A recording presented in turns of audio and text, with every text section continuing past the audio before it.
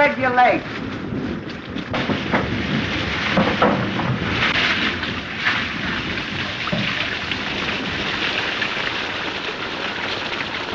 Now, why did you tell me to spread my legs?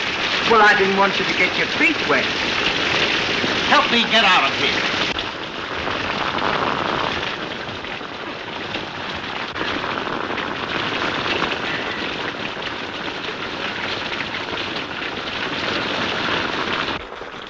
Don't tell him anything. What's going on here? Why, nothing, officer. Where do you live? Why, I'd rather not say. Oh, so you don't want to talk, eh? Well, it isn't that so. Where do you live? Huh? Where do you live? I live next door to him. Yeah. Where does he live? He lives in there. Oh, quit your kidding. Where does he live? I'm not kidding. If you don't believe me, go in and ask him.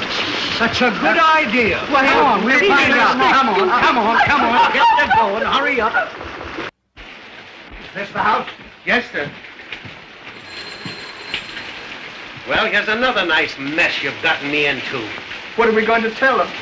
You think up your own story. I've got mine. We can't think